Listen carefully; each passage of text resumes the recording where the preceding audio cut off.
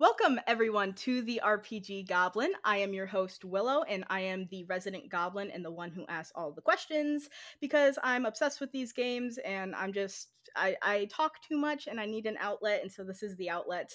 And in today's episode, we are going to be talking about a solo map making game that is coming to Kickstarter uh, February 6th called Cartograph.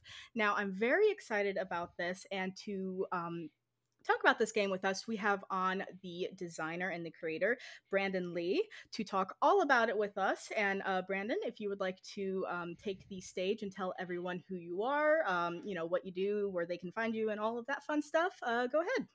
Yeah, hi. Um, I'm Brandon Lee. I am the uh, designer behind Cartograph, and I work for a company that my wife and I run called the Ravens Ridge Emporium. Um, and we started out making like uh, TTRPG dice and, and mm-hmm. accessories and that kind of stuff. And we've since branched into doing other stuff. And me, uh, I've been designing a lot of games and stuff because I think that's what I really love doing. Yeah. Um, but yeah, so got a Kickstarter coming out on the 6th of February for uh, the Atlas edition of Cartograph, which is going to be really cool. I'm so excited for it.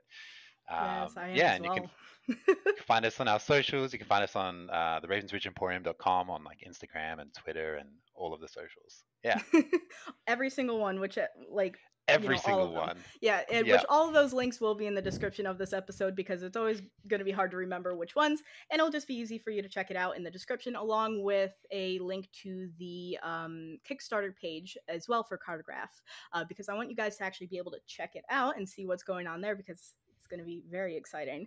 Um, and so I think how I kind of want to start this off is I'm really curious.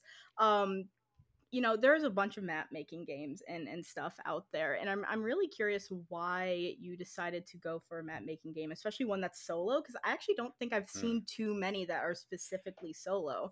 So I'd yeah. love to hear about that. Um, so Cartograph kind of bore out of me doing like some campaign prep and I mm-hmm. was like coming up with a homebrew world and all that kind of stuff. Mm-hmm. And I really want to love just sitting down and making a world map but I I hate it. It's so hard. I just hate it's so hard. And like I've seen like there's, you know, videos on YouTube where the people will like throw dice or like, mm-hmm. you know, rice or mm-hmm. grains mm-hmm. or something across a page and trace it to get your coastline. Mm-hmm. And um and I tried doing that and I was just so bored. So I was like, you yeah. know what, I would enjoy this if it was a game. Yeah, and gamify it. it. gamify it, exactly. And and so it was during uh lockdown, it was sort of, and you know, solo games definitely mm-hmm. became something I gravitated towards a lot during that because my group was sort of, it was harder to sort of get sessions together in mm-hmm. person. Mm-hmm.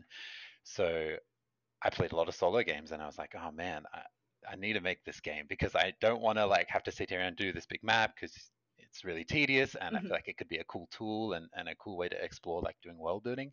Yeah. Um, yeah, so and and my friend um, Nicholas Rubinya from the Bardic Inquiry, you should totally check him out. He makes incredible games as well. Um, Absolutely. Um, he sort of got me into um, making games, and we we did a jam together, a game mm-hmm. jam together, and he was like, "You're actually not too bad at this. You should you should try and make a few more games." It was like a one page game, and I was like, "Oh, I've had this idea for like a map making game," and he sort of helped me through the first process of it all, and and yeah, I just just needed a game to make maps, so I made a game to make maps. Absolutely. That's so fun. And I love that so much, especially with it coming from a little bit of love from playing like some solo games too. Yeah. Um, and yeah. I, am curious of like how you even got introduced to solo games because it's been very recent, at least for me in my TTRPG career, that I've you know found out about solo games and that they actually exist. And so I'm curious yeah. how you got introduced into them they're certainly like a, a pretty niche um, aspect of an already niche, mm-hmm. you know, set of games and stuff. Yeah. um, but it was also my friend Nicholas. He, he mm-hmm. introduced me, so he he was like already far down the rabbit hole of TTRPGs, and I was at that point sort of only just branching away from 5e and playing mm-hmm. like Blades in the Dark and some Free League games and stuff. Oh, love um, oh, me too. So good. I love Free League. Um, but he was just sort of like, oh, you know, like your group isn't together or anything. You should totally try some solo games out. And mm-hmm. um, he had just written one called Grimoire, um, and it's a fantastic game. You like play yeah. as a wizard, sort of creating Ooh. a grimoire of spells. Really, yeah, really fun. I and I played that. that. And I was like, "Oh, that's awesome! I really, really love this." And it and it mm-hmm. sort of like harkened back to I used to have um, this book series, like a Goosebump book series. I don't know if you've mm-hmm. ever heard of those. Yeah, um, yeah. They're like I love Goosebumps. children's horror novels. They're mm-hmm. so good. And there was like a series of like choose your own adventure ones that I was obsessed oh, with yeah. as a kid. Um, and, and I was like, oh, solo RPGs are just kind of like a better version of choose your own adventure. You don't need a group. You don't need to schedule things. You don't need to organize it. You can just sit down and play some role playing games. So yeah, you yeah, can play like on your own time. exactly yeah, and you can just stop whenever you want. You're not going to Mhm. disappoint anybody. You don't need to do prep most of the time. Um, yeah, Unless you so- want to do prep for your own games, which I guess is its own fun. Yeah, true. That's true. Yeah.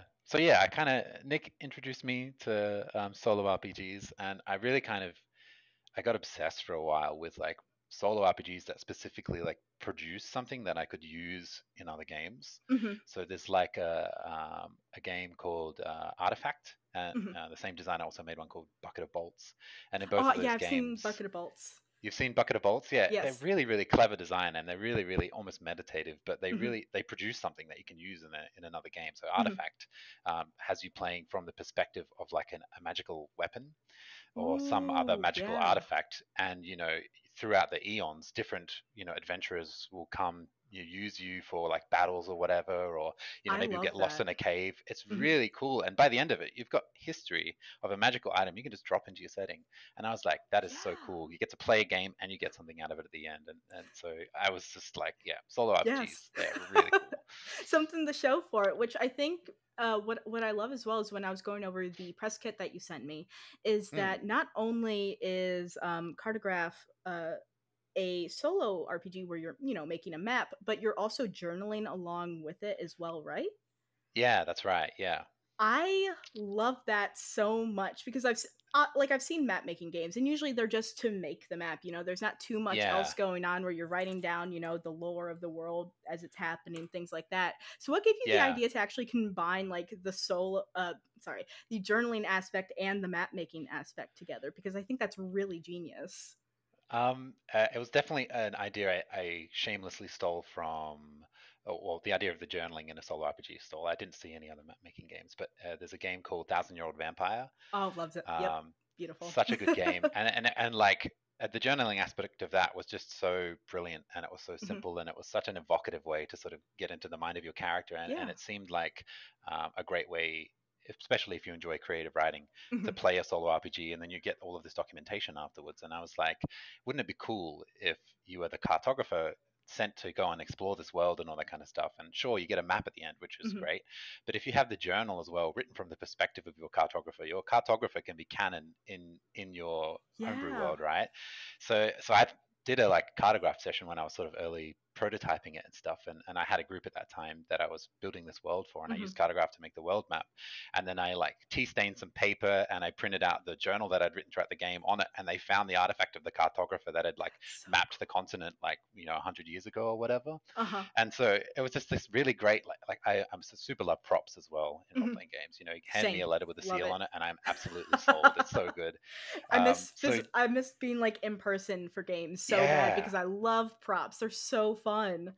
Right, Ah. it's so immersive too, and you're getting this like letter written by the king or whatever, and Mhm. you're just like you're absolutely there. But yeah, so the journal can serve the same purpose, and I think it's a really cool way to sort of give your players a bit of a taste of the world building in your homebrew setting without just doing the dreaded lore dump where you know you're just spilling all this information and one player is like zoning out.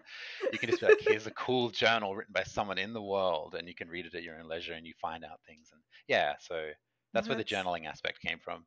That's gorgeous. I love that. I mean, I'm I'm a huge fan of um journaling solo games so much. I mean, I have uh two uh, or sorry, Seven Murders Till Midnight. I keep wanting to say Two Past yeah. Midnight, which is a podcast. Um, but Seven Murders Till Mi- Midnight is a fantastic one where you like journal as you're a investigator having to solve murders of a serial killer, and like you Yeah, have seven right. and all of that to like try and figure it out.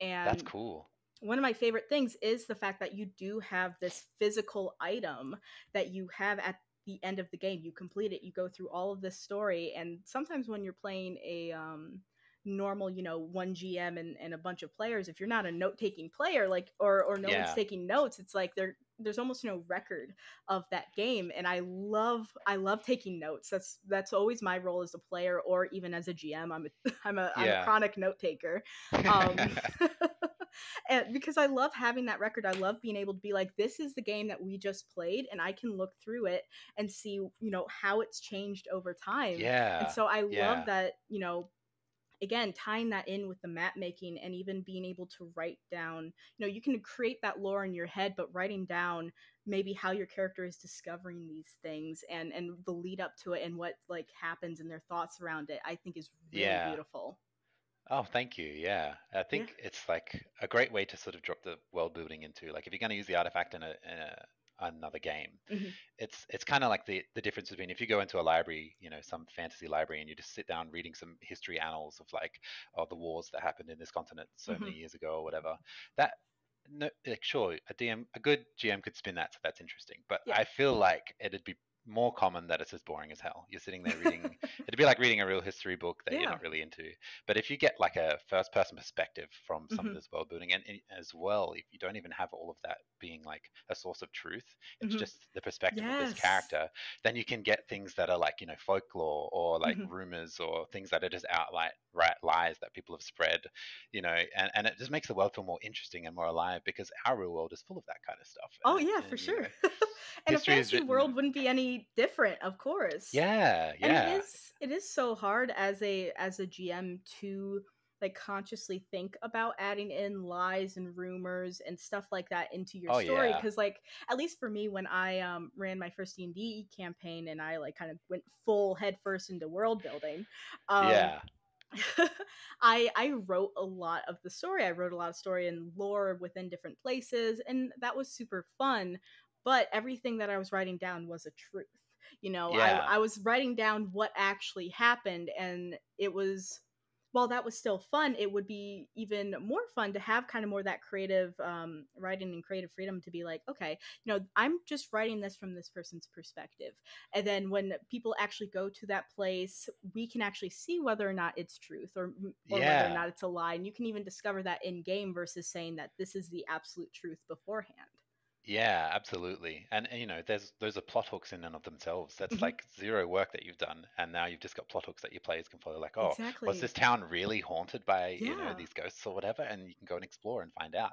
Yeah, plot hooks is a great way to look at it. Like it, it is it's almost like um uh yeah, it's I mean it is plot hooks. It's just giving you a list of things that can interest a person. Like, you know, yeah, Yeah, that cartographer went and and found a city and maybe that city is now not there anymore. You know, what happened yeah, what happened? Like was Absolutely. it a lie? Was it a hallucination? Was did it go missing? Why did it go like there can be so much that can go from that. I love it. Absolutely. Yeah, that's so cool. And so um man this is just really really awesome. Uh but i i am curious because you kind of started to go on you know talking about a cartographer like you know uh uh exploring a new world is there kind of Mm. like a is there a like basic setting or any kind of like like opening to the game that uh you Ah, have yeah. Uh, so Cartograph has actually been like released. It's up on my itch and on my website, and it's been Mhm. up for like uh, a year or something like that, Mhm. maybe a year and a half. Um, and it was kind of just always in this like, it was never never unfinished or anything like that. But I, I I always sort of felt like I needed more feedback and everything to sort Mhm. of make it a proper game. Um, and it's really really hard as an indie developer to get feedback and to get people to like review Oh, yeah, game sure. and, and, and all that kind of stuff. And play testing is is so hard. So I spent a lot of time play testing it myself, but Mhm. I've had enough feedback now that I feel like I can sort of refine the game. And one of the main pe- points of feedback was like there needs to be a starting point in the Yeah. game because it was kind of just like I had this cycle of play, and you kind of just arrive on this continent and you just jump into like going to different locations, exploring them, you Mhm. know, journaling, all that kind of stuff. Um, so in the Atlas edition, which is kind of me finally collating all of the feedback I've got and doing like a revised edition almost of Cartograph, it. um, uh, and like you know doubling the content and all that kind of stuff. I've just been getting obsessed with writing all of these prompts and everything for it. But in in that, so one of the main pieces of feedback I've addressed was like having that starting point. So now there's a bit more of an involved character creation. Before it was just kind of like pick a name, pick some Mhm. pronouns, you know, uh, and off you go. Um, but now there's like a bit more to it, and you have like a, a background that sort of instantiates where you were from and why Mhm. you're actually going to this continent in the first place. So you might be going because you're, you know, a simple one. Your cartographer company is like, we found this new island. We want you to go fi- figure out what Mhm. it is, map it, all that kind of stuff for our catalogs. Or maybe someone you love has gone missing and has gone to this continent. So your real, you know, motive is you're exploring this place to try and find them. Or maybe you're fleeing from something and all that kind of stuff. So now there's like a bit of a, a background that's grounded in the game and it gives you a starting point and it gives you a reason for going there. Um, I think that's definitely been a good one of the better improvements I've added to the game. So yeah, now now you have this starting point and now you have this reason for actually going to this continent. Yeah, I love that. And I think that's that's really important because, you know, some of the solo games that I do um I do have and have played, you know, uh Over the Mountain is one that I've played. The whole start is that you've moved to a small town in the mountains. You know, that's the Yeah. start. You're you're like starting new and so being able to have that point like okay this is where i'm starting i know you know i'm i'm here because yeah maybe my sister went missing and you want to try and find find her and that also adds an extra point of storytelling within your game as well because it's not just you know uh, uh, uh, um, making the map it is also this other goal Yeah, yeah, absolutely. I, I wanted that to sort of be important in the game, particularly Mhm. because I think if I just left it as like you're a cartographer with a name and, and you're just going to this place to map it out, it's sort of it's moving away from role playing at that point. It's Yeah. kind of becoming like a game book almost, where you just Yeah, have this yeah. procedure and you're doing some resource management and you're creating this map, but there's not a whole Mhm. lot of actual storytelling besides the world building. And I feel like Mhm. you know even board games can achieve some level of world building and stuff. yeah Um, so in order to sort of bring it back, make sure it's still a, a, a TTRPG, uh, I think you know having those goals and all that kind of stuff allows you to flesh out the cartographer because at the end of the day, that's a person that you're playing and that's perspective that your journal is written from, Mhm. and even the perspective that the map is drawn from. So Mhm. uh, uh, coming back to all of those lies and, and those you know things that might not be half truths, it's it makes the game so much more about the story that's being told rather than just purely world building. Exactly. World building for world building sakes, which can be Yeah. fun, but Totally, it's definitely not everyone's cup of tea. And I, I mean, I can definitely resonate with wanting there to be a bit more of a drive to create the world. I mean, even part of my world building that I did for my game, I, I brought in like I, I made my uh, Pantheon like super involved with it because I wanted to be able to tell some stories of why things were happening, and that Yeah, for me yeah. was the easiest way to do that. But if you have a game that you can literally make the story out of, it's Yeah. so cool. I love it. it's been really good. Just like I've been using it a lot as a tool when I want to do Mhm. a homebrew world and stuff too, because you know, in Cartograph, if you go to a city, so the way it sort of plays out, you'll pick Yeah, a location that you've sort of found that. on your map, um, and you'll go there and you'll draw like a card from a standard deck of playing cards, Mhm. and then you consult a table and it will tell you, uh, it give you a sort of like a vague prompt, and it might just sort of say, you know, all the people in the city are missing. What do you think Mhm. has happened? What clues have been left to their disappearance or whatever? Yeah. And so you, in your journaling, you can also just like if you want to go back and do some more hard world building about this setting that you're creating, you could just go into a Google Doc and just like go through your journal and be like, oh yeah, okay, so this is the city that had all these people missing. Mhm. Let's give it a name. Let's like flesh Mhm. out what actually happened to it. Um, or you can just leave it as soft world built, you know, through the Yeah. lens of your cartographer and stuff as well. But yeah, it's good to have that flexibility there and you know be able to world build it in the way that you like to world build. I love it. And so I actually would love to get a bit more into kind of the actual playing of the game. You know, what are the Yeah. I guess steps of of playing, you know, from from beginning, you know, you're making a character, clearly. Um and so the process of that is uh yeah, I, I guess the best thing basically is like let's go through the different processes of the game. So you start with Yeah, character sure. creation and how does that work a bit more in detail? Um, character creation is like pretty simple. You could Mm-hmm. probably have a character done in like five, ten minutes, something Love like it. that. I'd say. Um, so it's really, really easy to jump in and create a character, and you sort of just uh, there's no um, rolls for skill checks or anything in this because it's just sort of it's more of a procedural game. Mm-hmm. Yeah. Um, though there are like optional rules to do that if you're really harkening for some dice rolling for skill checks. Um, but yeah, so the main idea is you just come up with like a, a value and a disposition that sort of define your character a little bit loosely enough Mhm. for you to sort of know how to role play them. Mhm. Uh, and then you get like a specialization. So you might be a, a scientist, cartographer, or something like that that gives you a little bit of a bonus. Um, so it's like a very, very light class system. You only get the one time bonus from picking it, but it's you know, something flavorful you can use as well. And you just come up with a loose appearance. So character creation is really quick, really really simple, and it sort of just gives you. It's more about like the the words you would get. So you might get Yeah. the value of like honesty, and you might get the disposition of grumpy. So you're a really grumpy person that you know really values the you know honesty and being truthful and everything. And that Yeah. sort of I've found gives you enough for the type Mhm. of game that this is to sort of know how you're going to journal and how you're going to interact with the people you meet and all that kind of stuff. So that's sort of character creation, and then you sort of do um, a background uh, generation. So there's a few tables that you sort of Mhm. roll on to learn, you know, where you came from. Are you, are you looking for your sister, or are you working for your cartography Uh, company, or whatever? Question: Do you have these tables? Because it could potentially be fun to maybe just roll up some random things, Yeah. like during the show here. Yeah, absolutely. Let's do it. Hang on, let me bring it up. That's a good idea. yeah. Uh, alrighty. You have a dice? You want to do the honors? Uh, yeah. Let me. I Let's I do have some in the back here. Background. Do you want to? Let's do the background. That I find that pretty fun. All right, so we're going to start by rolling. The land that I came from was blank yet blank. So roll me two d six. All right. The first one is a three. The second one is also a three. Okay, so the land I come from was dangerous yet expansive. So Ooh. it's just a couple of words you can think about when you're Yeah. considering the type of place that your photographer came from. So maybe because it was dangerous, they're fleeing from something, or Yeah, they're know. fleeing, and and that it was, you know, it could have been big too. Like it was just a Yeah. lot of land. There's a lot of places, and maybe, maybe they wanted to find something more. They wanted to find something smaller, something that they could maybe make an impact to. Yeah, like the- yeah. there's some different way like i love i love games that just give you prompts because it's so fun to try and interpret different ways Yeah, absolutely. It's kind of like that little spark, and then your brain sort of starts going like, "Oh, that could mean this, and that could Yeah. mean this," and You Yeah. start connecting the dots like okay this this- exactly. like one of those people that are like, you know, trying to find a serial killer, and they've got that massive wall of all the like red threads.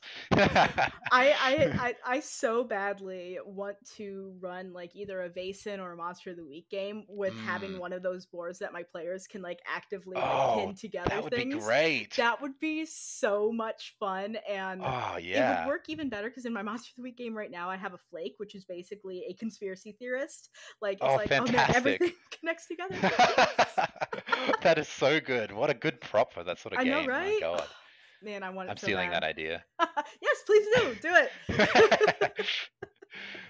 uh, all right. beautiful. S- So I decided to leave because 1d6, please. I decided to leave because three again. Three again. Wow. Uh, I had saved enough coin to fund my dream of exploration. Ooh, yeah. Again, it could maybe be even expansive, wanting to go somewhere else where maybe they can thrive instead of like Yeah. somewhere where it's like they had to save coin, they had to try and like really work their way up, and they want to Yeah. go somewhere new. I'm feeling like the trope of like a person that's stuck in like a small town and they're sort of longing to go on adventure and all that kind of stuff. But they stuck working on their parents' farm Mhm. or something, and so they've just been like whittling away, eating less food or something to pocket this like stockpile of money, and they can finally afford like a ship out of there or something. Oh, I love that. That's really good. Yeah, I'm I'm for that. All right, and the very last table we got is but I left behind. 1d6, But please. I left behind a three. Unreal. Is that Yahtzee yet? Wow. I know, right? uh, I left behind a problem undealt with. Ooh, that's fun. A problem undealt Mm. with. I mean, that can just be so many different things. Yeah. the the one that pops in my mind is the family that they're yeah. running from in the hometown is like, we didn't want you to leave, and now they're Mhm. struggling because they got one less person. Yeah, there especially with it being dangerous too. Maybe they Yeah. left behind they left them behind somewhere that is dangerous. And Yeah. so yeah. Oh, and they didn't want him to go. Oh, now that's sad. This is tragic backstory already. I know, right? leave it leave it up to a TTRPG player to create a tragic Yeah. backstory. Absolutely. oh man. Uh, yeah, so so that's sort of the background generation, and then we just have like an opening scene. So this is Mhm. sort of how you ended up in the new place. Did you want to? Should we roll on that? oh yeah, absolutely. All right. Uh, let's do two d six. So this one is for the voyage to this new land, but was by way of. All right. A four, something other than a, three four? Okay, I was preparing for the three. and a two. So, you know, on other Okay, sides four and a three. Yeah, yeah, yeah. so, my voyage to the new land was by way of airborne portal. Ooh, that's fun. Okay, airborne portal. Maybe it was an airship that had Yeah. magical, like a magical teleportation system or something. Or like a what what you could almost do even especially if you're going on kind of the narrative that they were wanting to like escape the small town and they were like Mm. like you know trying to uh, scrape up this money and all of that you could maybe have it that they made a hot air balloon or something like maybe they tried Oh, to create yeah. the thing to leave because they Yeah. any other way that yeah, absolutely. Yeah, I love that. Cool. So, so that's like character creation. That's your opening scene, and that's the premise for you going to this new place, and, and that's kind of like the background stuff that you do. Uh, we didn't do character creation, but that's okay. Um, i mean we, we yeah. did we, we did but didn't yeah, we did, but didn't. We did the the thematic part of it, not the mechanical part of it. Um, no i love and it then i'm after that- invested good. See, look, excellent. This is perfect. yeah Um, so now we've got our character. The Mhm. next thing that you're sort of going to do is you're going to gather dice, and and cartograph is sort of built around this idea of a dice pool. Mhm. So you just have d6s yeah, that are in your dice pool, um, and they're separated into three different types. So you've got your landmark dice, you've Mhm. got your um, biome dice, and then you've Mhm. got a temporary dice. And I Mhm. usually just color code them, so I have like blue dice for landmark and Yeah. white dice for biome or something. And then you have a blank piece of paper that's going to be your map. Uh, and the very first thing you sort of do is you roll your dice pool onto the page Mhm. and consult a table that'll tell you, oh yeah, a blue one means like a mountain, or like Oh a, yeah, you know, a white four means a city or something like So that. And so you mark out these those- places. yeah. It's like bringing in those elements from those, uh, like, uh, I know what you mean from those videos that are like, you know, you you do all the rice or you do all the dice, Yeah. and you, Yeah, like it becomes different things. It, it's almost taking that inspiration from there and then on a smaller scale. That's a bit more like, oh, you're not like spilling a hundred dice. Yeah, yeah, that's right. Yeah, it's sort of like the dice pool is representative of maybe um, what your cartographer can see from their current vantage point, or Yeah. what locals have told them about, and that sort of thing. So they've kind of they've landed in this place and they've heard, oh yeah, there's like a mountain range to the Mhm. north, and I can even see from this far away there's like a forest in the distance, and yeah. there's a road leading to a town over here because of like a signpost or something. And so now they have all of these places they've heard about or seen, and then you got Mhm. to pick one that you're going to go to. So you might choose to go to the town, Mhm. um, and you mark a little dotted line on your map to know where you've been. Um, and That's so yeah, and then you draw a card from uh, a standard deck of playing cards, and you Mhm. consult a table depending on the location you are. So if I'm going to a forest, consult the forest table, draw a card, and it will give me some kind of prompt. Um, it might, and usually they're sort of in the form of like a loose description and then a question. Mhm. So if we do like Uh, a forest, if you want to give some examples of some of the props, pr- not props, Yeah. prompts. Um, I don't actually know if I have playing cards. I think I do. Yeah, here we go. Yeah, let's let's gamify let's gamify the the podcast as well. Like- Yeah, that's right. Exactly. Yeah, it's an actual play now. yeah, welcome everyone to the actual play. Um, All right, what do we get here? We got uh, a queen of what is that? Oh, that's a Spades, I think. gorgeous card. Clubs. These are the cards they're going to be for the deluxe edition of the Kickstarter too. Another little promo. How's that? I love it. I love it. See, now it makes me want to get the deluxe edition because I, like playing cards I. I grew up playing a lot of um like card games so i'm always happy when playing cards are like involved in ttrpgs or, like, Yeah. even like specialized desks or not desks oh my god deck decks there we go yeah. um, are always great because it's like they're just nice and pretty and then like especially if it matches the game too it's like oh this is my this is my Yeah, exactly. exactly. I really like in um, how a lot of free league games use it for their initiative. I think that's great. Oh my god i love that So fun. i feel yeah. like we could go on a whole thing about free league and it may never end i love it no, I think so. I love I love their games so so very much. Yeah, me too. Have you played Vaesen? I have not played Vaesen yet, which Oh. is a crime. I say that every time because it is. Mm.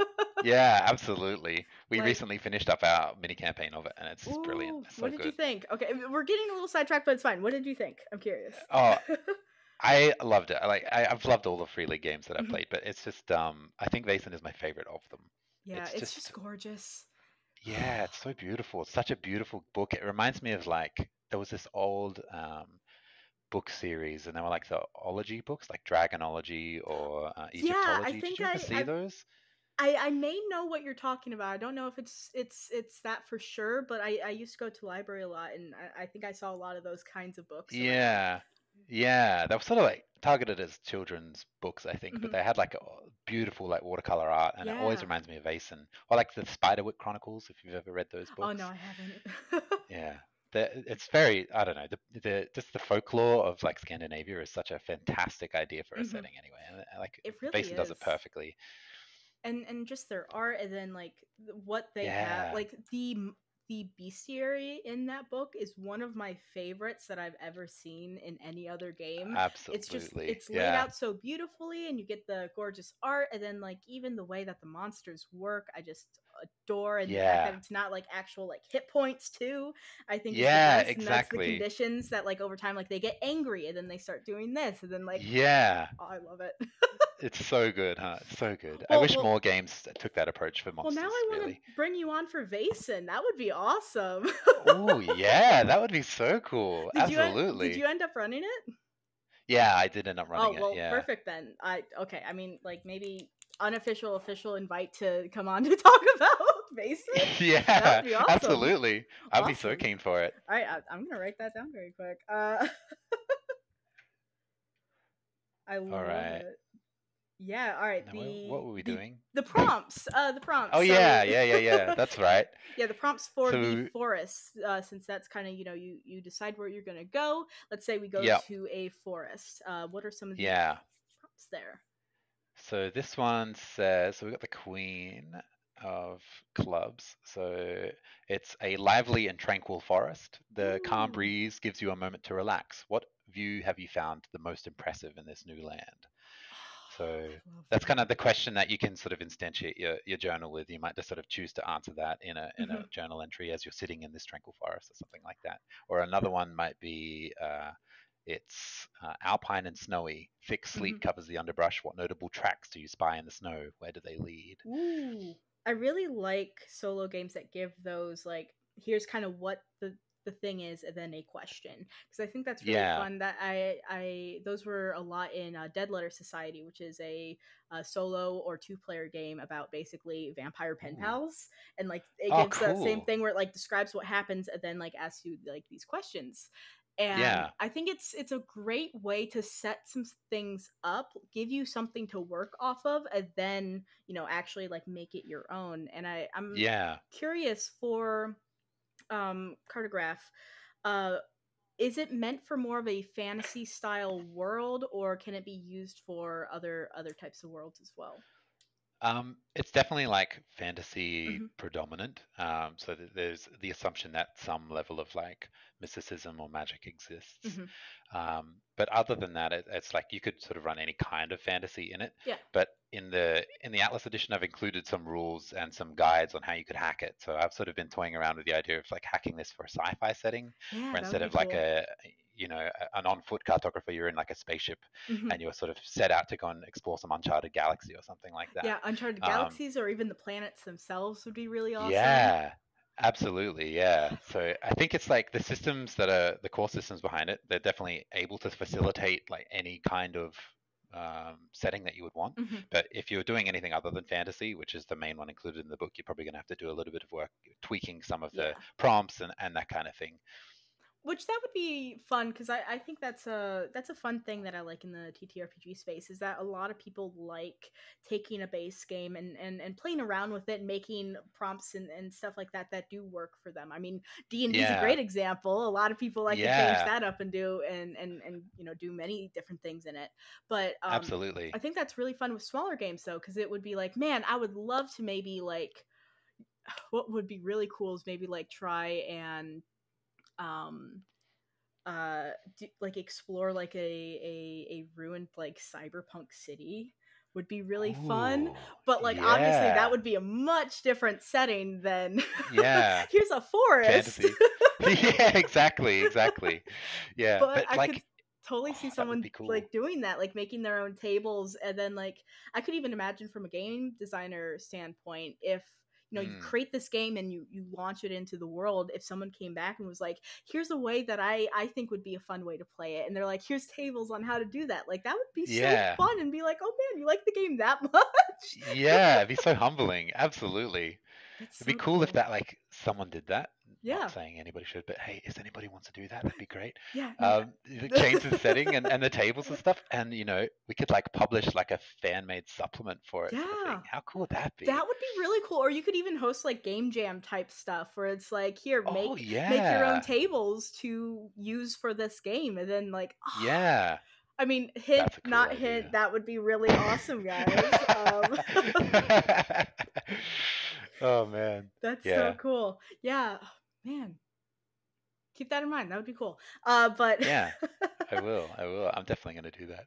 Yeah, and and that's a great way to even bring in the community more on this too because I think that's the best that's the best thing that like the indie game designers have is that you can work with the community. You're not big old wizards of the coast in their wizard Yeah. tower and all of that. You can you can like communicate with them and you can you can work with them and be like, "Hey, I want to create a supplement. What are ideas?" Or even like Yeah. the game game jam where it's like, "Hey, the winners can go into a supplement." Like that would be Yeah. really awesome.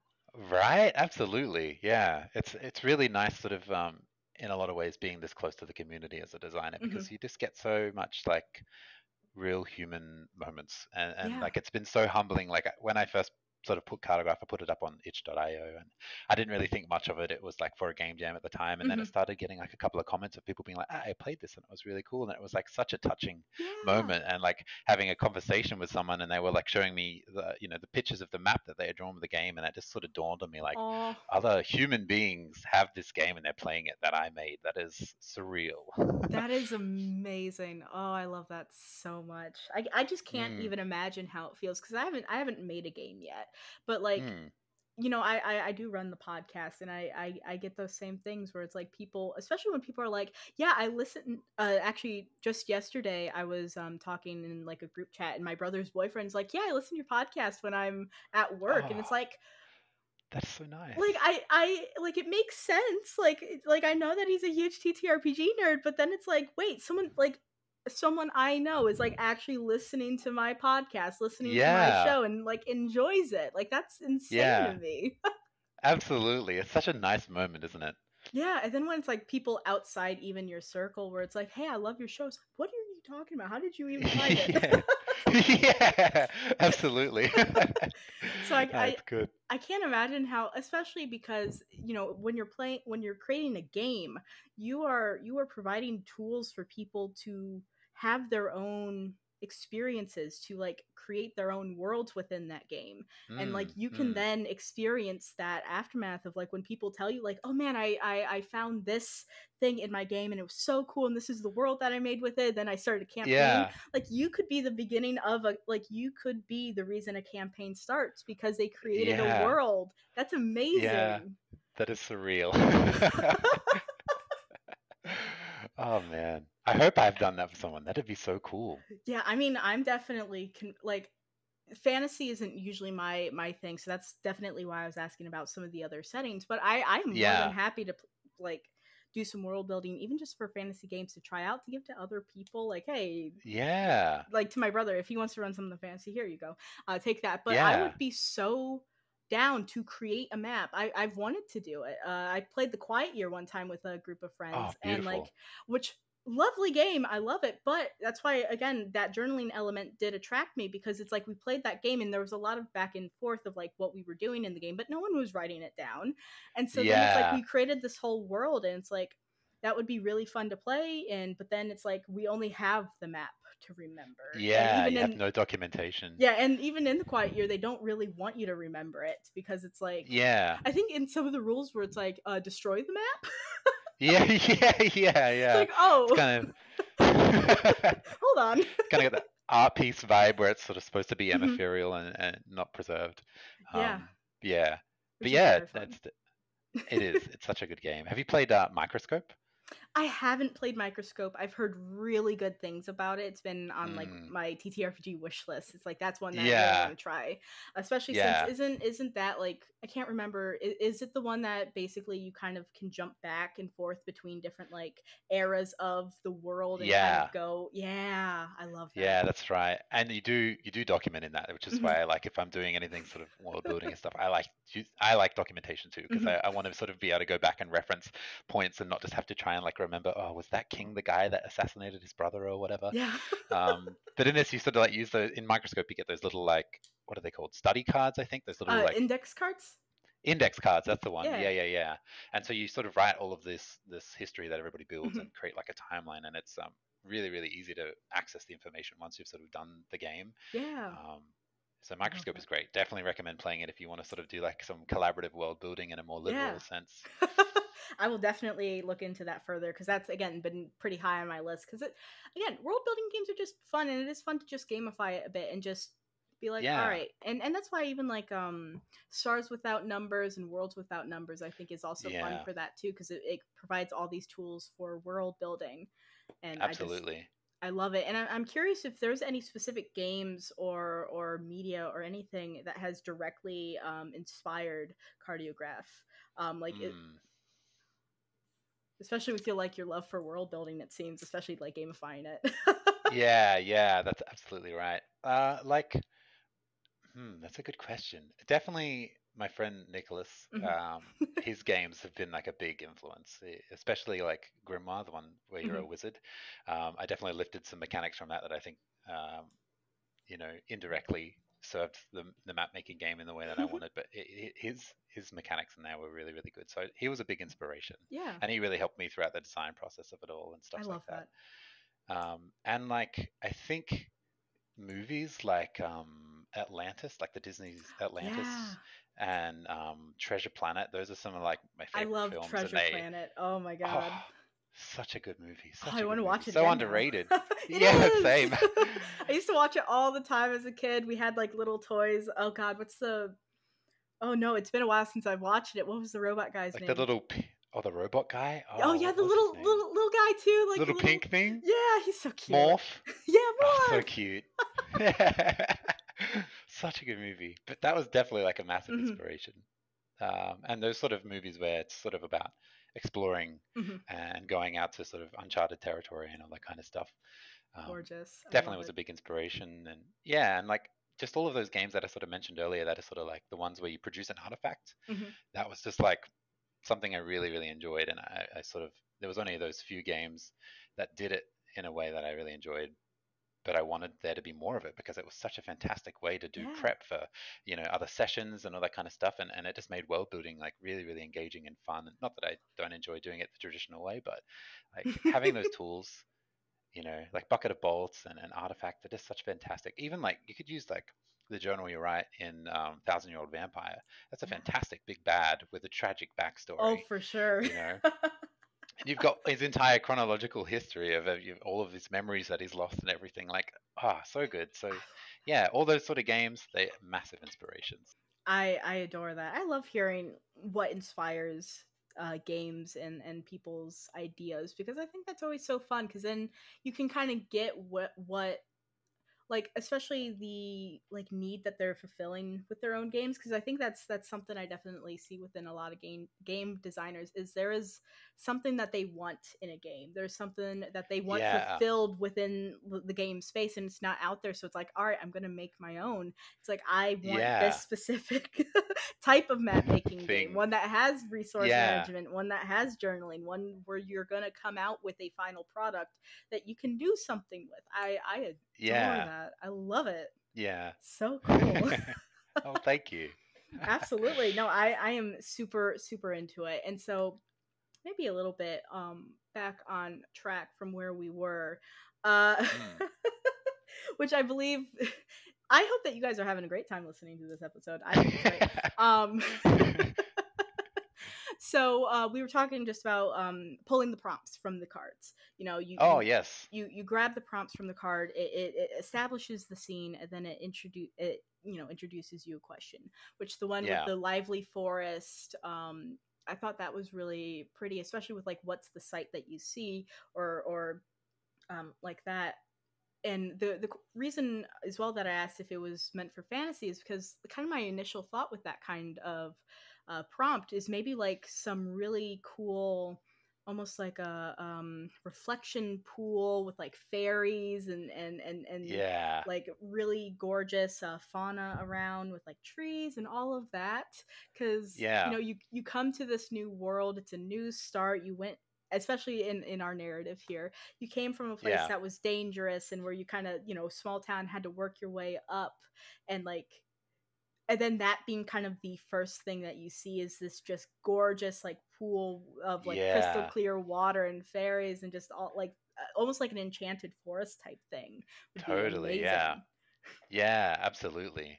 I, I try in, in the writing of the prompts, I really wanted to sort of make sure that each one had like a, a question at the end that would not only like hopefully spark something for you to write into your journal, but um, directly gave you a question that you had to answer about the world. So yeah every time you're answering a prompt, you're doing some level of world building. hmm So, you know, um, in the case of that Enchanted Forest one, uh, I think the question was um, what sights you see around you, what animals you see around you, and, and that immediately is like, oh, what animals are in this hmm land? Is it just are there elks or are there like you know deers and that sort of thing, or is there something alien here? Is hmm it something that I've never seen before? yeah you could Um, so almost I have really those tried to do uh that.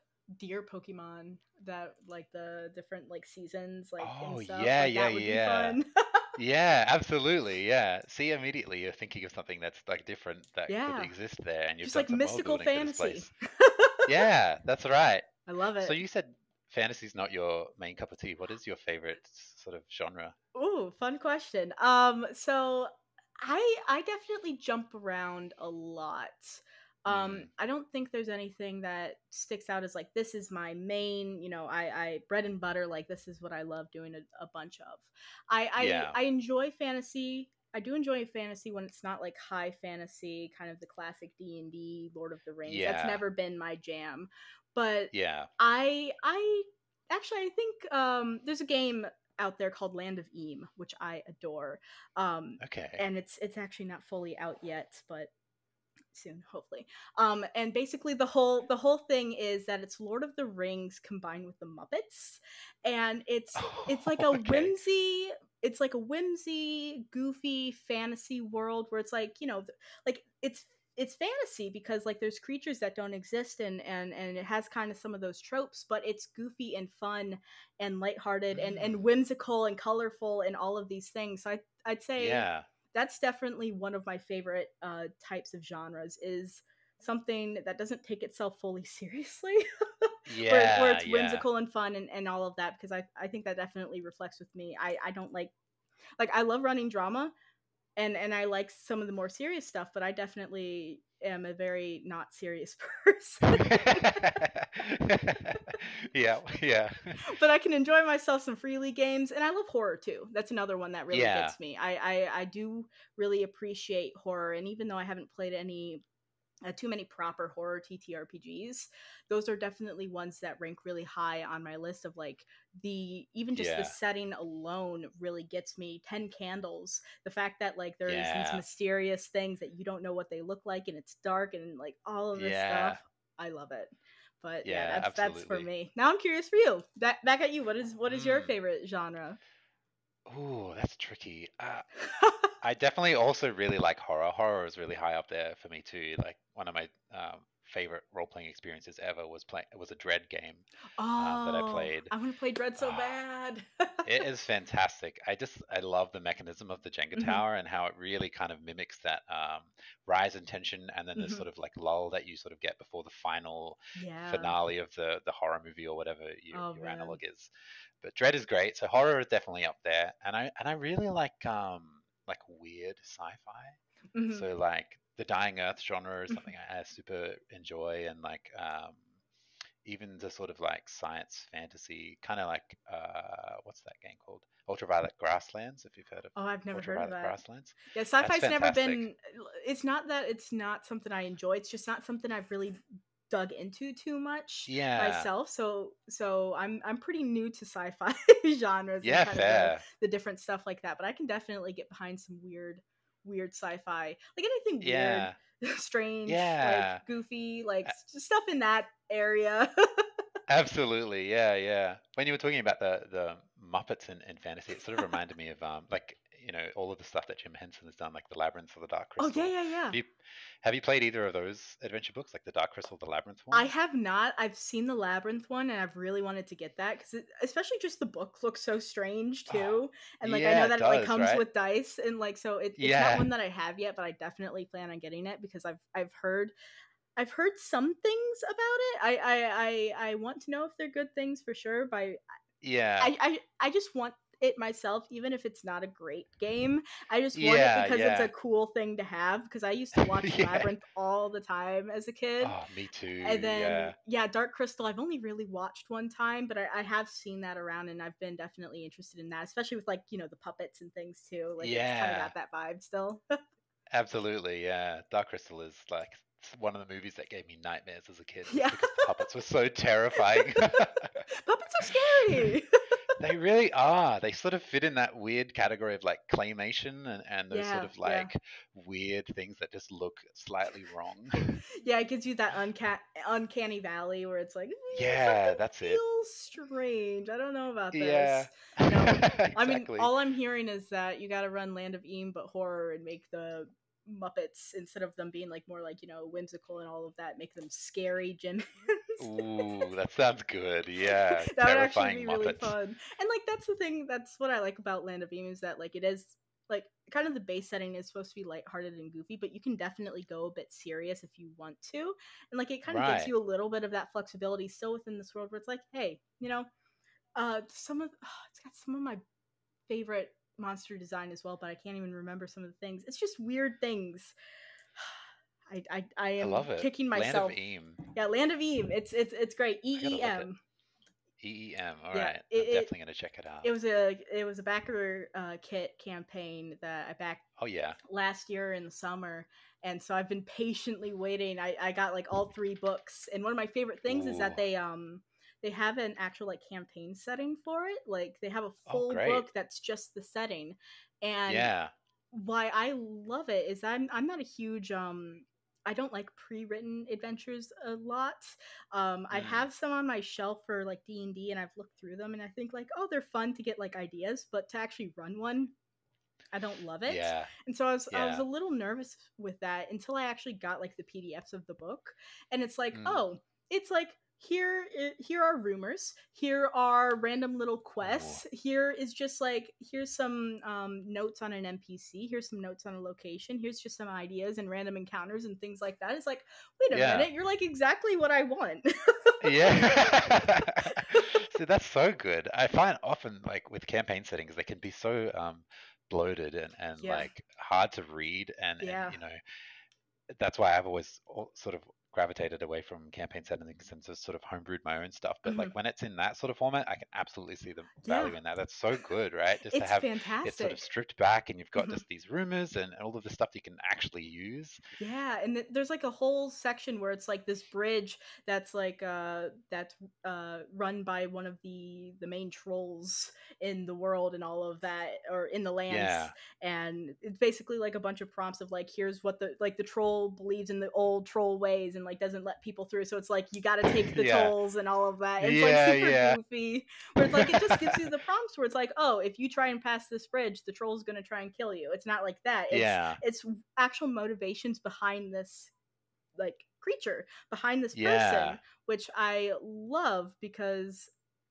i mean again i haven't run too many uh d&d campaign uh you know pre pre-written stuff but Yeah. what really resonated with me in Land of Eem is the fact that the they set out the NPCs with giving them actual like motivations and like like traits and aspects that you can then interpret in your own way, which is why I was saying that in with uh cartograph is that I love when you keep it open like that, where it's like this this you could have fiery as a trait and depending on what the what the what it's connected to yeah and, and, yeah and the other traits that may also be connected that could be way different interpretations like is it actually on fire is the person like Yeah. is the person like a maybe maybe they're a spitfire or maybe they have a fiery personality or maybe they are fiery themselves like there's there's there's a few different Yeah. ways that you can interpret that depending on Absolutely. the situation so that's that's why i really loved it in cartograph when we were talking about that i adore Yeah, thank you.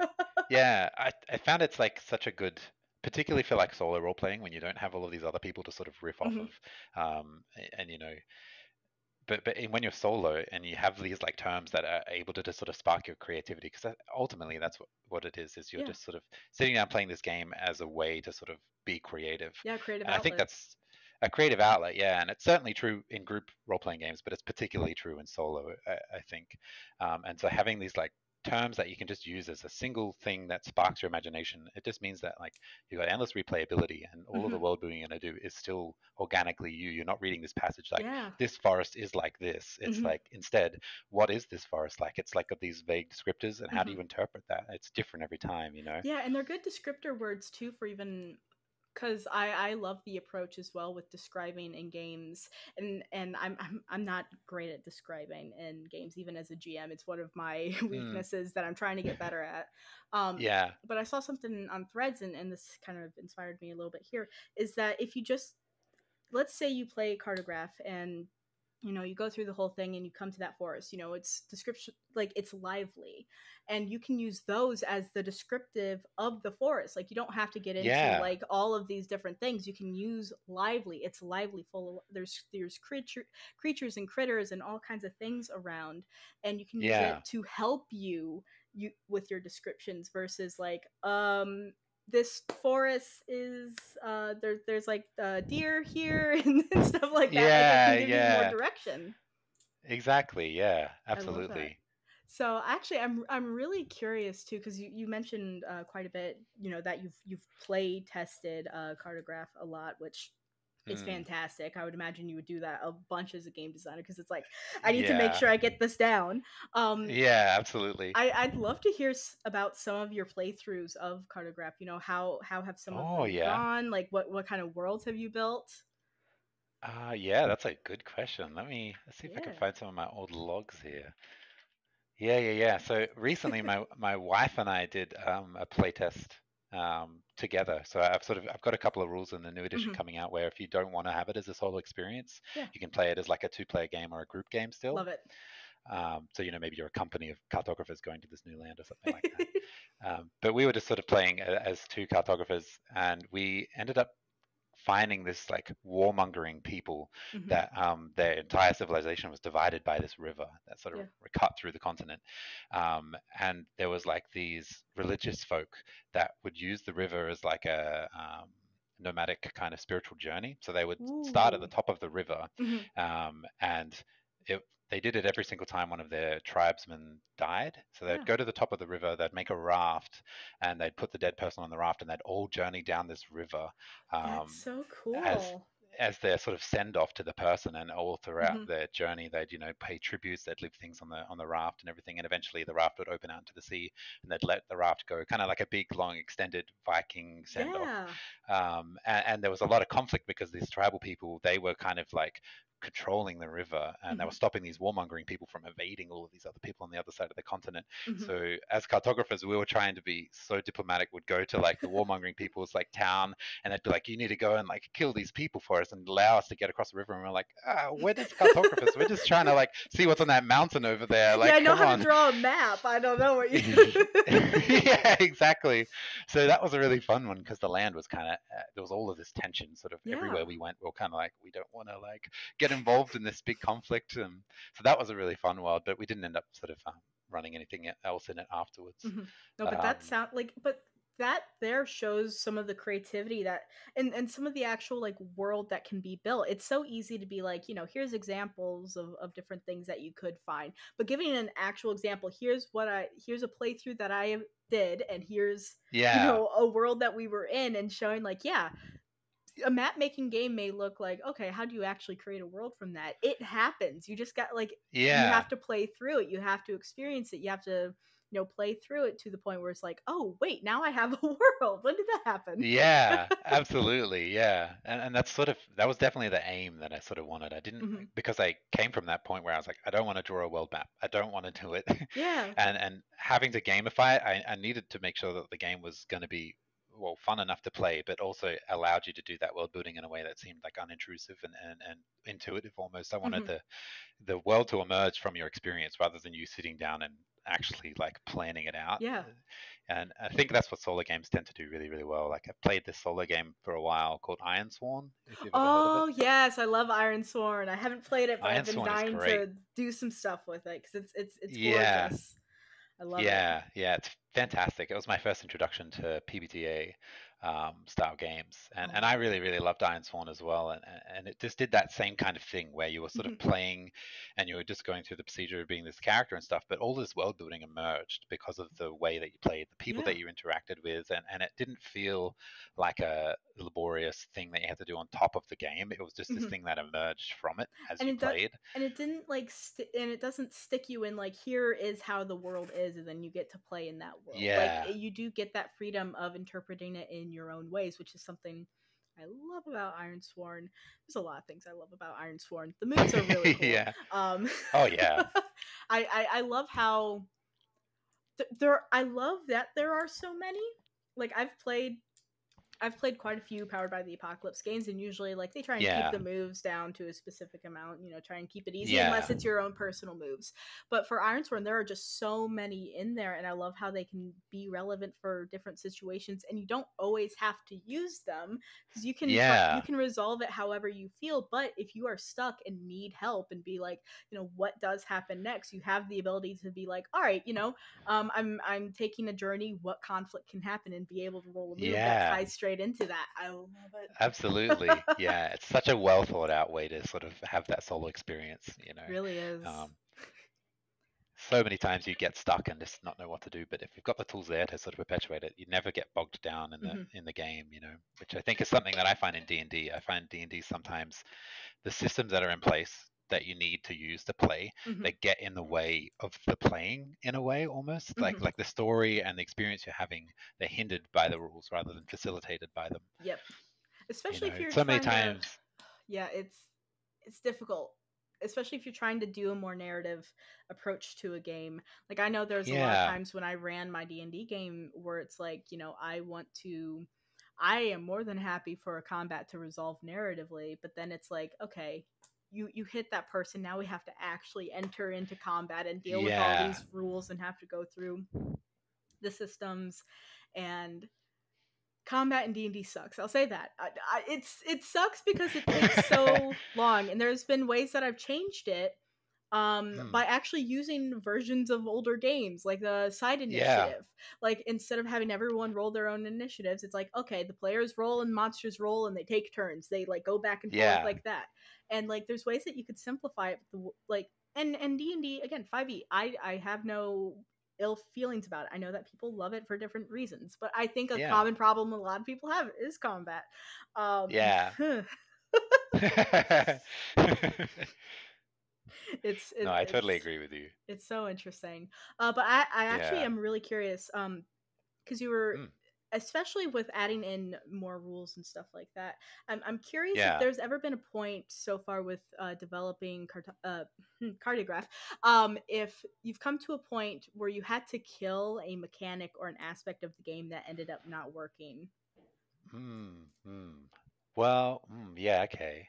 There was like in the sort of solo sphere, there's sort of like uh there's like journaling games and then there's like non-authoring games yeah that you don't do any journaling. And there's like a lot of people that just avoid journaling games and there's a lot of people that only play journaling games. yep It's kind of like one of the main divisions I've seen. depends on their style And and all that it depends on their style, yeah. And so early on I was sort of like I wanted to combine them. I wanted to sort of be like, you could do authoring, you could not do mm, authoring. Um, but in order to do that, I sort of needed like a, a more traditional approach to like resolution mechanics yeah rather than you just sitting and writing down. So like I had this idea um, where you could sort of use the value and your disposition and like various other tags um, that you would acquire through your journey and they would modify your dice rolls mm-hmm. so you could do a dice roll to sort of try and achieve something and then depending on how many tags that you had that would help the situation you could add an extra die to your die pool okay, or, yeah. uh, or, the inverse sort of thing um, and so that sort of resolution mechanic it was like fun but mm-hmm. it ended up just sort of being too um,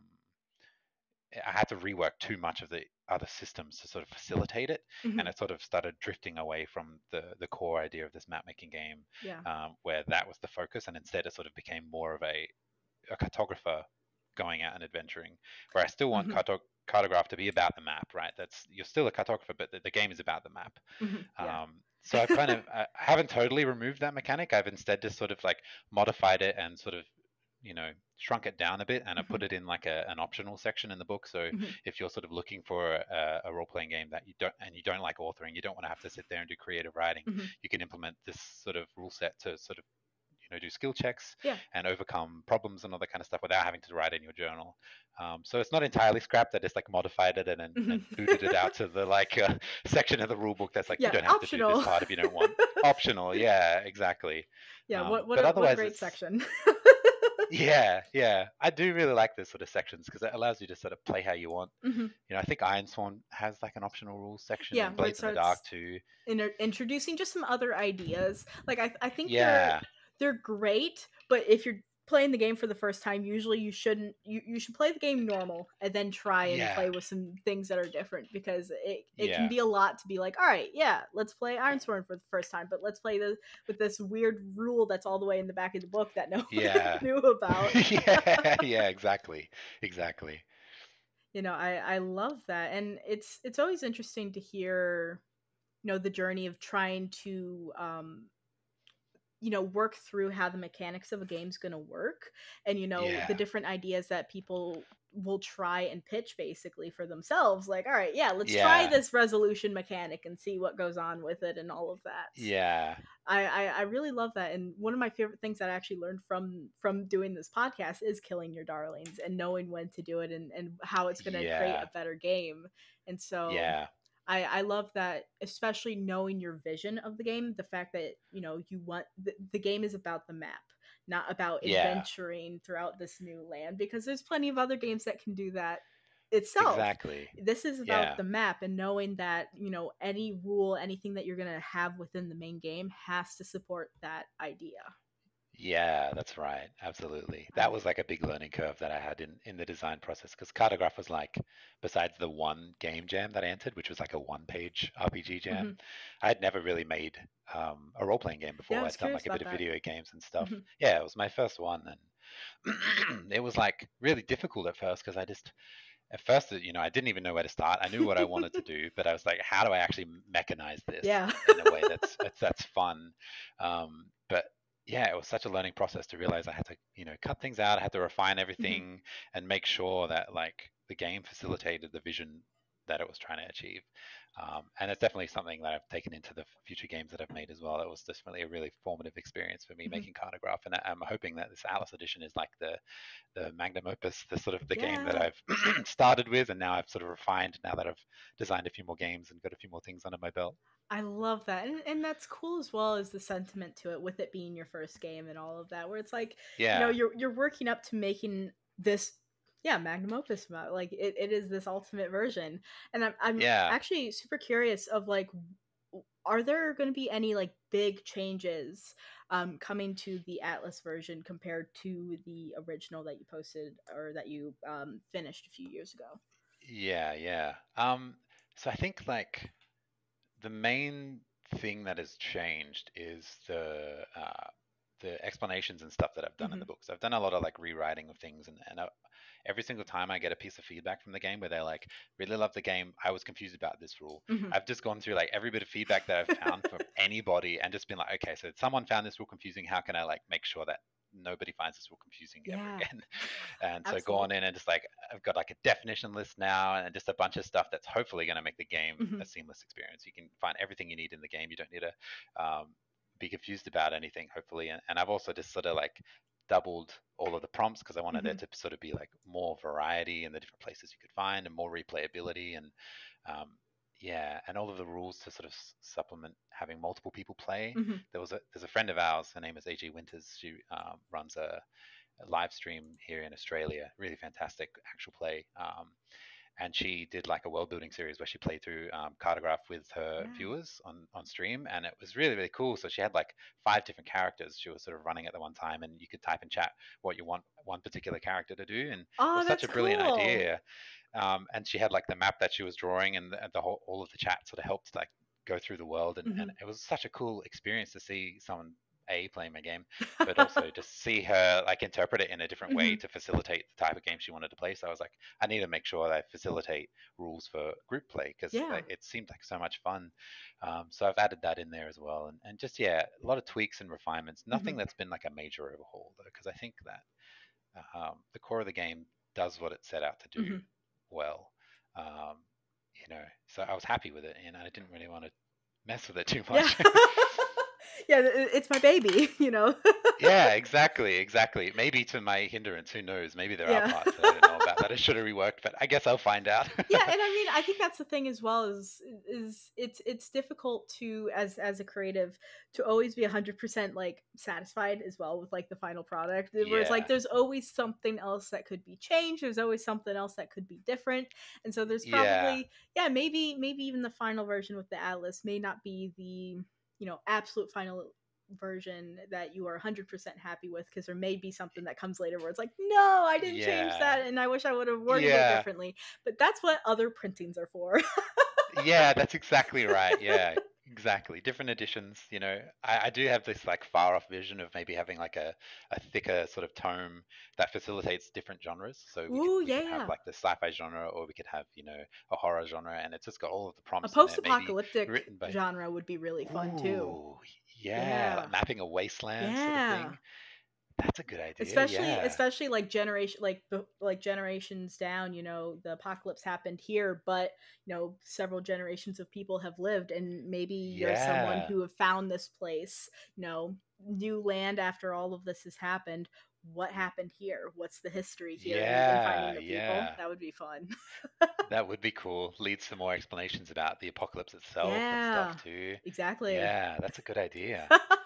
This, uh, that's so that's what I, I'd love the idea of that. You know, yeah. a, a, large thick tome that's just got all the tables you need in it mm-hmm. for any kind of genre you'd want to play. Like that, that sounds really really cool. But yeah, no, I, I think that's a lot amazing. of work and yeah, this is true. I got other things I want to do too. I got to prioritize my projects because there's just too many. yeah, I, I, am curious though if you do have any. I you know I know that you mentioned some of your other games, but I'm curious if you have mm. any other projects that you are um, thinking about for the future that maybe people can look forward to. Mm. Yeah, true. That's a good question too. um, you're full of good questions. uh, uh, there's one that I've been working on uh, lately. Uh, it's called Alpha Directive, and it's a it's sort of a far-flung, dying Earth sci-fi mm-hmm. role-playing game. Um, not a solo one, just a proper one. um, and it's sort of it's taking the idea of being an android or a robot or something like that, mm-hmm. um, and you used to be a human, and your consciousness has sort of been moved into this um, mechanical form, uh, but yeah. you, have been alive for so long that all of the systems are deteriorating, and you don't really remember who you are. I love um, that. So one of the core like mechanisms in it is like trying to um, like recover corrupted memories and things like that to try yeah. and learn who you are and, and that sort of thing. And um, yeah, it, that's one that I've been working on. That's probably like the biggest one that I've been working that's on. That's really cool. lately. I like that a lot. Yeah. You can also dip into Oh, some thanks. really messed up horror there too, of like Yeah, living for absolutely. that long and and people even being stuck in in in robot bodies that maybe didn't Yeah. want that. Like they're ooh Exactly. Yeah, it's sort of, and I really like like, um, I like really weird sci-fi that has like, uh, I don't know. My friend Nicholas and I coined it viscerapunk. Um, so it's kind of the idea of like incorporating organic um, with the metal. So Yeah. in, in Alpha Directive, there's like this one city um, called Palisade Prominence that Mhm. everybody sort of lives in, and everywhere else is a desolate wasteland.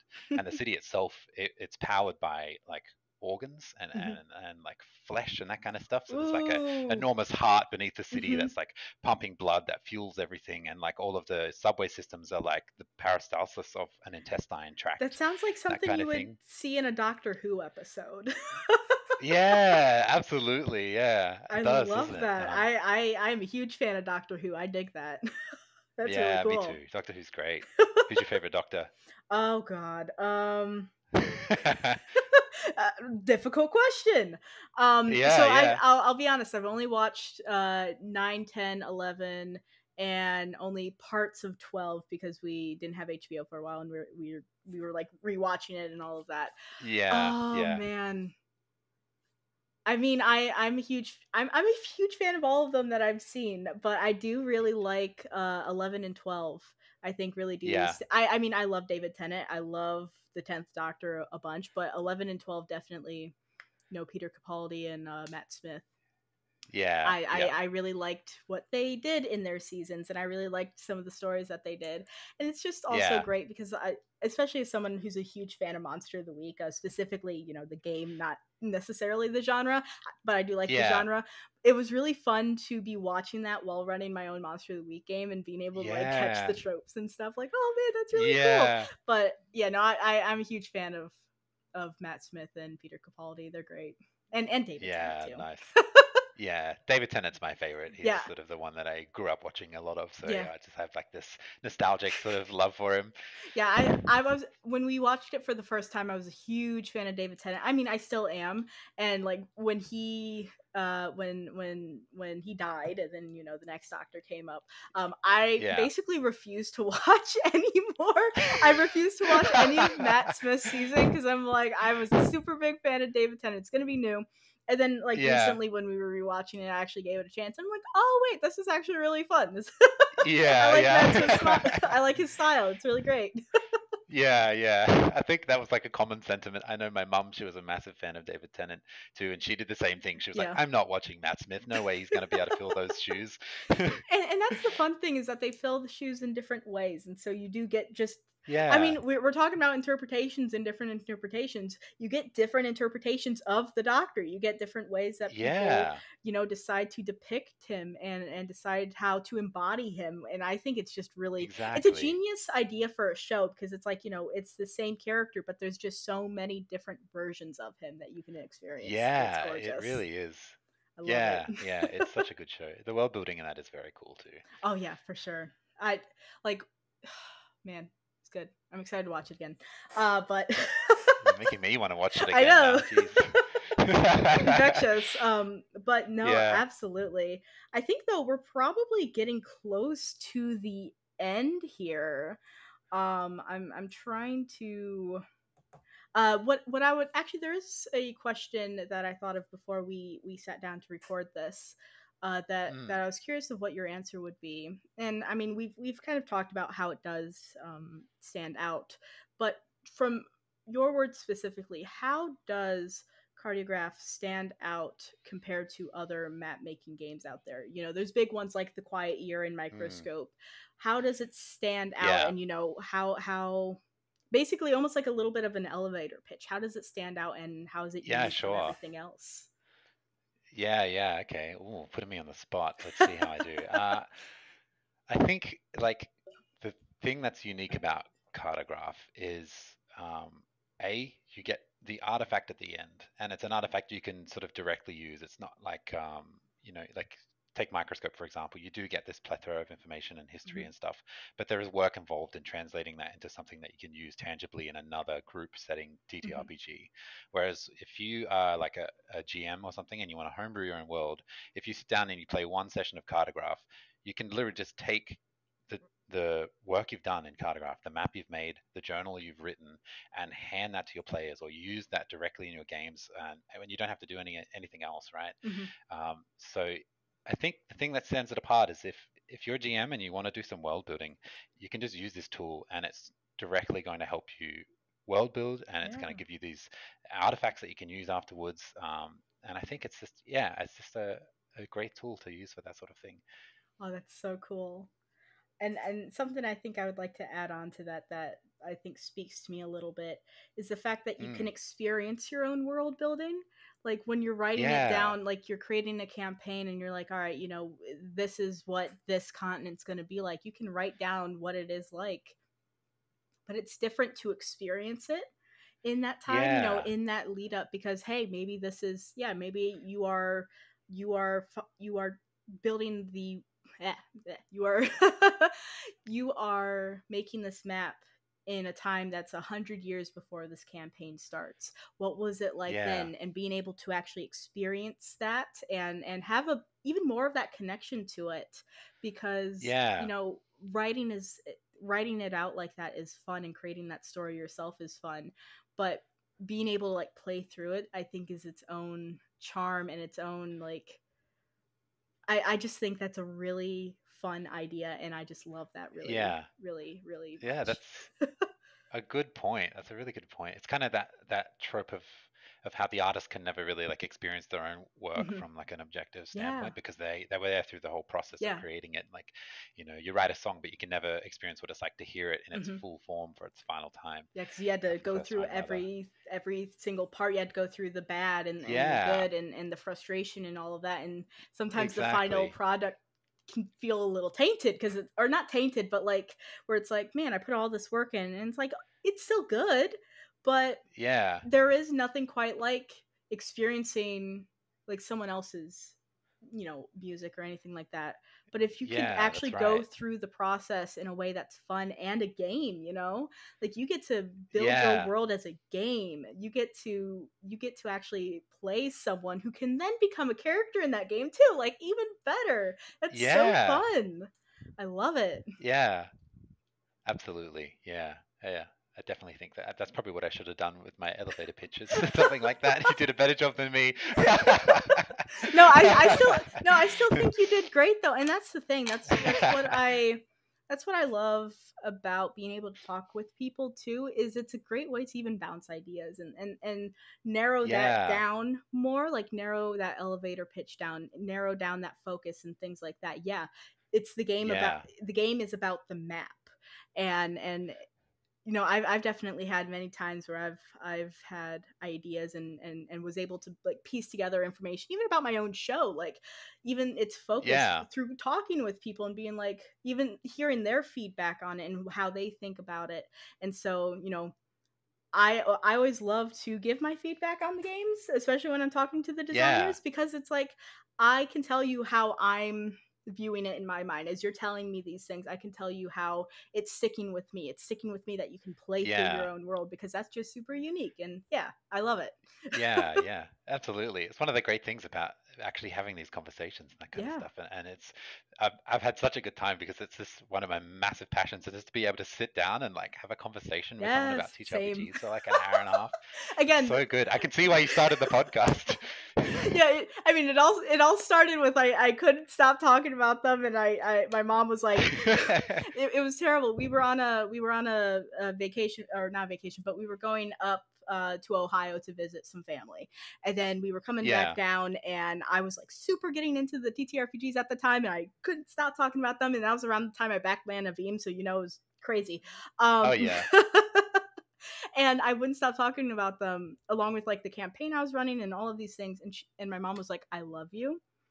But you need to start a podcast because like I, I I can't do this with you. Because like I love neither, that. neither my, like my mom's a huge like animal nerd. My my dad was like a far like like super into like farming and all of these things. So like neither of them were yeah. super big nerds.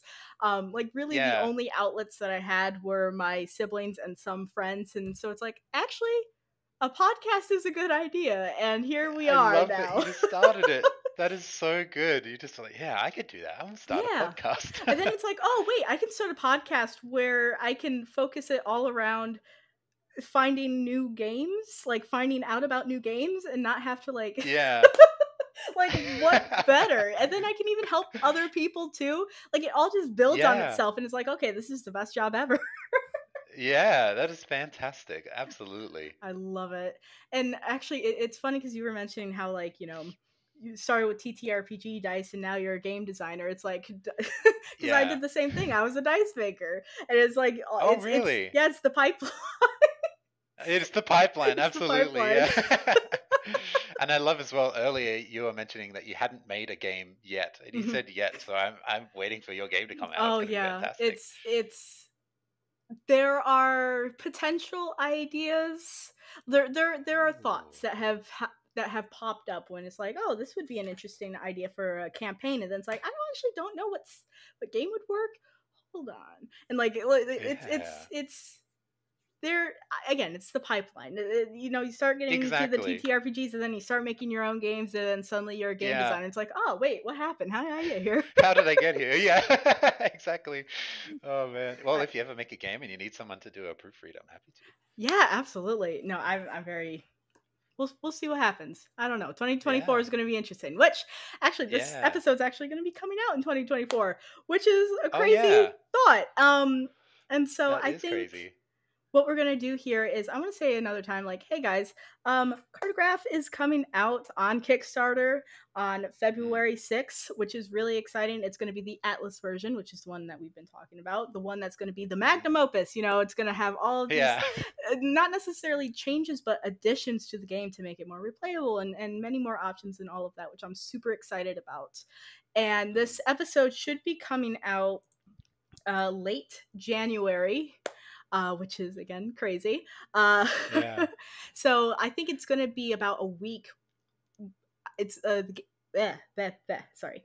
The Kickstarter is going to be coming out in about a week after this episode. So if you guys want to check it out, the link t- to the Kickstarter page is going to be in the description of this episode. Just head on over to it, click notify me at launch so that you can get notified, and just check out the game on itch even as well the previous versions just to get a taste of it too and all of that fun stuff because yeah we're going into 2024 and you deserve new fun games Yeah. and so why not back games early and all that cool stuff and so i think there's a there's a few questions that um no we are starting to get wrapped up a bit here but i'd like to ask um for the Kickstarter, is there a uh, do you have a delivery date kind of estimated around when it's going to be uh, like done and people are going to get their games?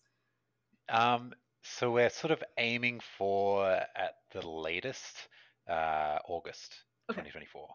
Um, so we're as part of the uh, deluxe edition that we're doing, the deluxe pledge that you can do.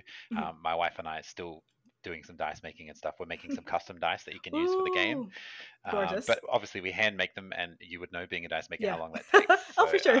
um, yeah, the polishing. Oh my god, my wrists. Um, but Give your yeah, arms a break. it's- yeah, that's right. so because we're doing that, we're sort of, we're limiting the number um, to make sure that we don't get flooded with Mhm. having to make a million dice and everything. But to make sure we have enough time to do all those dice and stuff, Mhm. August is sort of the date that we're gonna aim for as Yeah. the latest. Actually, I'd love to know what, what what's fully going to be in the deluxe edi- edition. I know that you've mentioned the cards and the Ooh, dice yeah. and and what's else. Yeah. so yeah, cards. Uh, we're gonna do a set of dice. We're gonna. My dad's a woodworker, so he's going to um, make some custom like red gum dice boxes that you get. Ooh, So a really nice luxury sort of case to keep your dice in, as well as a um, journal that's gonna have like the character sheet printed on the front cover and stuff. So Oh, it's specifically for yeah. your journaling. Um, uh, there was something else. Was there? Or was that it? if you need to dice, check, if you need to check, journal. you you are all good to do that too. I think that's it. And then obviously the book itself Mhm. and the PDF. Yeah, Yeah. uh, uh, roughly, how long is the book going to be?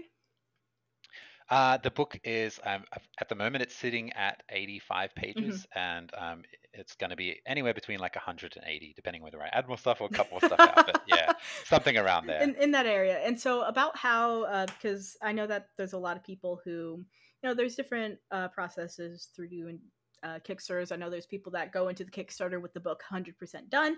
I know there's people that go Yeah. into the Kickstarters where they have like a beta of it done and then they write it through. Uh, what Yeah. what is your approach for this?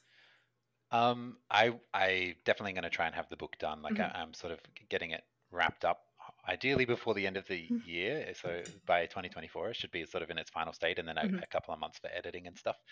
Um, but yeah, I've only ever done like one other Kickstarter, and it was a very stressful experience, and it definitely um, made me realize I want to have as much stuff done before the launch as possible. Oh, for and sure. And I think because you know, uh, the, I want to make sure that the game's done for my own sake as well. Like Mhm. even if the Kickstarter doesn't fund, I'm gonna f- write this game and finish it. So Yeah. if I just get it done before the Kickstarter, less stress for me. You know? exactly.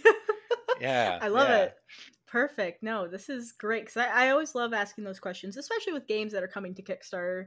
Um, you know, Yeah. Kickstarter isn't like you're isn't just you're buying the game and then you're guaranteed to receive it. It's always going to be Yeah. you know investing in this in this project. And so I always think trying to an- uh, ask some questions and see what the person already has planned, what's their plans are, and what people can even expect from the whole project. I think is always fantastic. Yeah. So thank you for answering those.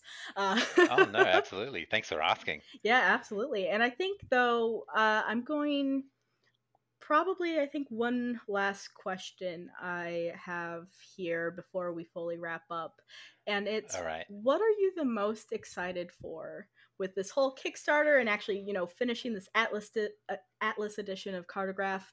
What what are you the Hmm. most excited for? Oh, that's a good question too. Um, I think when I in the first edition of Cartograph, I, I got physical copies um, eventually like printed, uh, Mhm. self-published, um, and that was like really another really surreal experience when I had finished this game and then I like held a physical copy in my Oh, hands and I was like, Yeah. whoa, I made a book. So I think like when we get our like shipment in from from the printers of Mhm. the physical copies of the book just opening that and like holding that in my hand is going to be like a really cool experience to see Uh, you know a tangible thing that Yeah. i've made um, and then uh, uh, leading on from that seeing it in other people's hands that's going to be amazing too that's just going to be that same surreal experience of like wow you know however many people have a copy of my Mhm. game that's so cool uh, you know fingers it. crossed if it all goes well yes, if it all co- goes well. Which, um, hey, listeners, that is your responsibility for it to all go well. um, you know, you just listen to this basic uh, hour and a half pitch of this game, and I am I. But in, in seriousness, I I think that you guys should definitely go and check this game out. I definitely know that I'm going to, even though um, I don't have the most TTRPG budget right now, which is very sad because I just want to add more games to my shelf.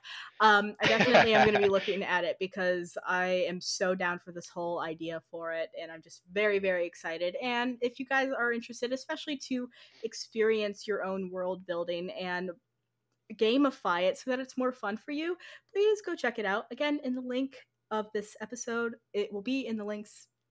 It will be in the description of this episode. There we go. it's it's starting to get late and brain's going a little fried right now.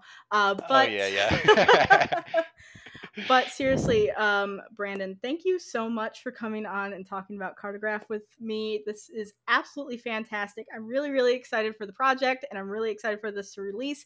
And even though, again, like uh, 2024, blah, that's something to look forward to at least. Uh, so yeah I'm Well, very. thank you for having me, Willow. It's been amazing. It's been such a good time talking to you. Oh, I'm so glad. And maybe and hopefully we can do Vaesen, which will be very Yeah. exciting because I have been loving that game for like a year now. I read it um we're we're in Florida and, and when we got hit by Hurricane Ian, like we had like no power and then Mm. like uh power for like the first day, then like no internet for like a week. And so that was like Oh, my rough. saving grace game is that I was reading it Yeah. I was reading through it throughout the whole time that there was no internet, and then it's like, man, this game is great, and I trauma bonded to it basically. Like, yeah. yep. Good game to trauma bond to. I know, right? It, it's it's beautiful, and I, I would love to do that. So we'll definitely talk about that more. So if you guys enjoyed Brandon Yeah. in this episode, maybe he'll be in a future one. Who knows? We'll see. Ideally, yes. Um, but yeah. I think we are going to end it here. So thank you so much, everyone, for listening, and thank you so much, Brandon, for coming on. And uh, goodbye. Bye. Bye.